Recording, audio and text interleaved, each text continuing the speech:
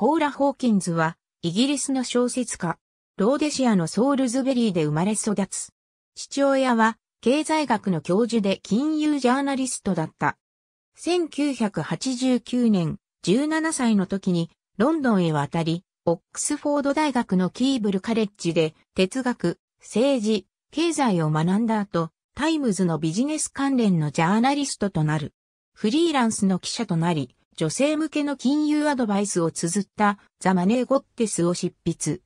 2009年頃から AB シルバー名義でロマンスコメディ作品の執筆をはじめ、 Confessions of a Reluctant Recessionista を含む4作を上梓。ヒット作に恵まれなかったため、よりダークでシリアスなストーリーにチャレンジする。2015年に上司したガール・オン・ザ・トレインは DV、アルコール依存、薬物依存をテーマにしたスリラー作品でベストセラーとなった。